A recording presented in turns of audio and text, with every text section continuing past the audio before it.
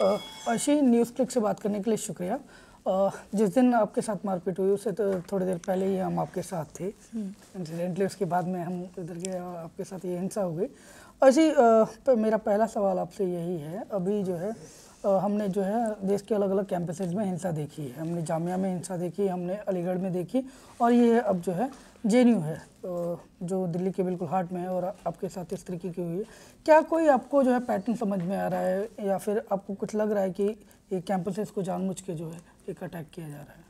Obviously campuses uh, में जो लगातार हो रहा है एक uh, वही एक रविवार का बात था जब जामिया मिला इस्लामिया में दिल्ली पुलिस घुस के एक तरीके की मतलब बर्बरता दिखाई। टीयर गैस वहाँ पे यूज़ किया गया उसके बाद लाठी चार्ज हुई स्टूडेंट्स पे और स्टूडेंट्स को लगातार वहाँ से उसके बाद हॉस्टल में एविक्ट कर किया गया। उसका अभी तक उसका भी अभी तक कुछ वैसे कार्रवाई नहीं की गई है इंक्वायरीज़ एम ने कहीं पर भी प्रोएक्टिवनेस नहीं दिखाया है। उसके बाद लगातार ए में ये चीज़ें हुई हैं और कल की, परसों की जो बात है, जेएनयू में, हमने जो देखा अटैक इसमें बहुत अच्छे तरीके से समझ में आती है कि जो जिस जिस कैंपसेस में इस गवर्नमेंट या सरकार के खिलाफ की, नीतियों के खिलाफ अगर आवाज़ उठ रही हैं तब ये लोग कोशिश कर रहे कि कहीं ना कहीं वो सारे आंदोलन को दबाया जाए और उसके लिए एक अटैक इस तरीके से कर रहे कि उस संस्थान के ऊपर जो एक है कि उसकी संस्थान के नाम को किसी ना किसी से हम लोग तोड़ मरोड़ के रख दें। और वही जे के साथ करने की पूरी पूरी फिर से कोशिश की गई है। आ, लेकिन जिस तरीके से हम इस चीज़ को देखते हैं कि जेएनयू में अचानक से ये चीज़ क्यों की गई उसका कॉन्टेक्स्ट क्या था?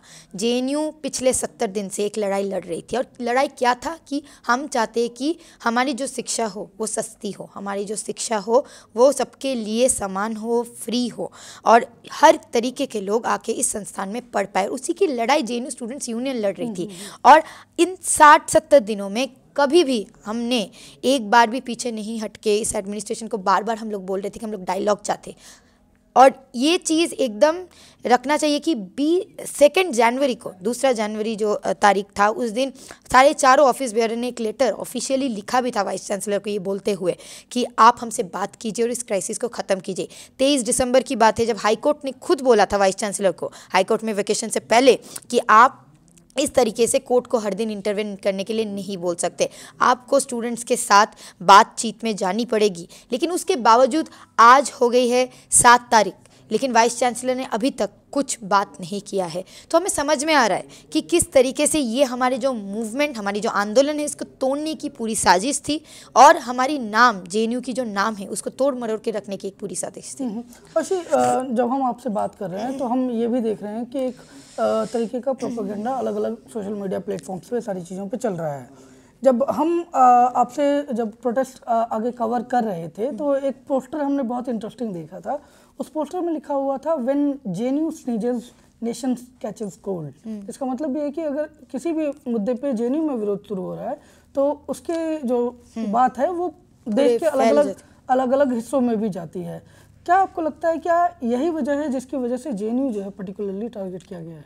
हाँ ये तो है ही क्योंकि आप देखिए जब जिस दिन 28 अक्टूबर में जे हम्म। ने आई मीटिंग की बात की और उसके बाद बोला कि शिक्षा सबका अधिकार है और हमने बार बार इस बात को सामने रखा कि जो हमारी पब्लिक एजुकेशन है इसको सेव करने की ज़रूरत है। 2019 में हर एक जगह को प्राइवेटाइज करने की कोशिश की जा रही। पहला जो सॉलिडारिटी हम लोगों को मिला वो सबसे पहले आई और एम्स से मिला और उसके बाद हमने देखा किस तरीके से एमएचआरडी ने आईआईटी का जो एम का फ़ीस बढ़ाया गया था उसको रोल बैक किया। और यही डर सरकार को भी है कि जेएनयू ने जो आवाज़ उठाई है आज पूरा देश हमारे साथ क्यों है क्योंकि सब कोई जानता है कि जेएनयू ने एक सच्ची लड़ाई लड़ने की आवाज़ उठाई है हम्म। और इसीलिए सब कोई साथ भी दे रहा है और ये आज परसों के दिन जो बर्बरता यहाँ पे हुई गुंडों के द्वारा तो उसमें भी आज लगातार मैसेजेस सॉलिडारिटी देश विदेश से आ रहा है इसी बात पे कि कैंपस स्पेसेस जिसको हम लोग अपना घर मानते हैं, उस जगह को ख़त्म कर दिया जा रहा है। वो जो सोचने की जगह है, पढ़ने की जगह है, उस चीज़ों को वो जगह, संस्थानों को ख़त्म कर दिया जा रहा है इस टाइम पे। अच्छा एक और जो मैं आपसे सवाल पूछना चाहूँगा, वो ये है कि आज अगर हम न्यूज़पेपर्स को देखते हैं तो एक चीज़ हम ये पा रहे हैं कि बाकी सारी चीज़ें तो ठीक हैं कि एक्टिविस्ट थे वीवीपी के आउटसाइडर थे बाकी लोग थे। लेकिन हम ये भी पा रहे हैं कि चीफ डॉक्टर जो हैं हम्म। वो जेएनयू के वो भी जो है इस हिंसा में कहीं ना कहीं उसको उकसा रहे थे। और ज- जबकि उनकी ज़िम्मेदारी दूसरी बनती है कि वो जो है स्टूडेंट्स को प्रोटेक्ट करें। आप कैसे इसको कैसे समझें हम अगर आप बता पाएँ तो? देखिए बात यही है कि ये नई बात नहीं हमें पता है कि जे में कौन से लोग इंक्वायरीज किसके ऊपर करवाते हैं। इस मूवमेंट के दौरान कंटेम्प्ट अब देखिए कोर्ट में किसका नाम गया है। आप देखिए कि प्रॉक्टरल इंक्वायरीज में किसका नाम जा रहा है। हर वक्त इस एफ़ में भी इतना शर्म नहीं है वाइ, वाइस चांसलर एडमिनिस्ट्रेशन को।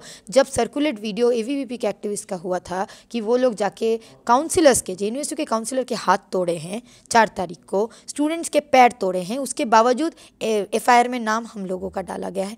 तो ये शर्मनाक बात है कि एडमिनिस्ट्रेशन एक बार भी कोशिश नहीं करता है कि वो हमसे आके बात करे।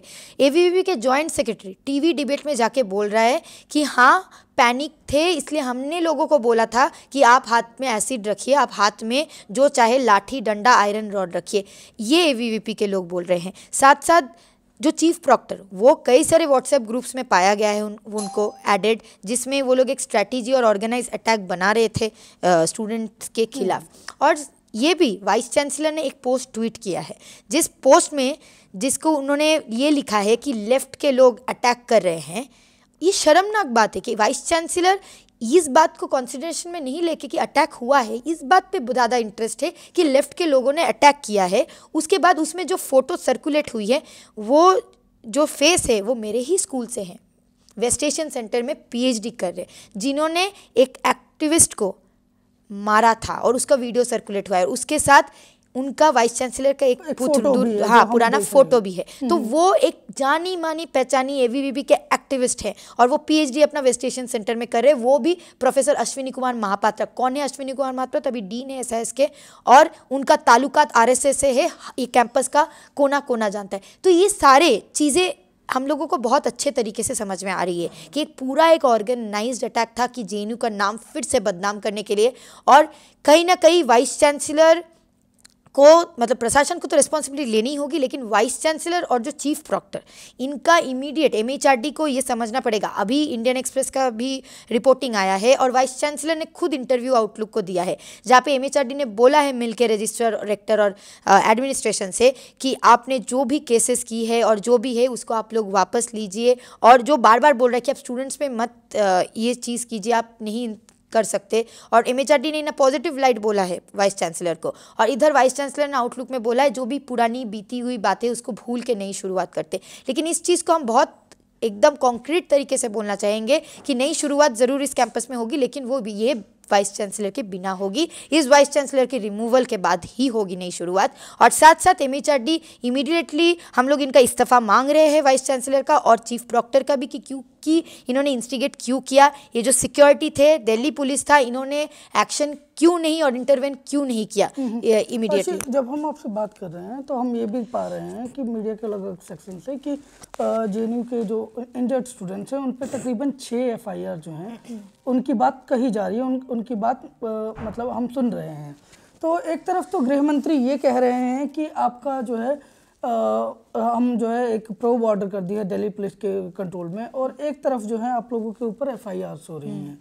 इन इस पूरी घटना को आप कै, हम कैसे समझें अगर आप बता पाए तो? देखिए बात ये क्लियर है कि दिल्ली पुलिस को ढाई बजे दोपहर के ढाई बजे तीन बजे के करीब हम लोगों ने खुद व्हाट्सएप करके ये चीज़ इन्फॉर्म किया था। इन्फॉर्म करने के बाद एक टेलीफोनिक कॉन्वर्सेशन हुआ था बातचीत हुई थी पौने चार बजे के करीब मेरे खुद का जहाँ पे उन्होंने बोला था नहीं कैंपस में सब कुछ ठीक है हम लोग ने सब कुछ संभाल लिया है।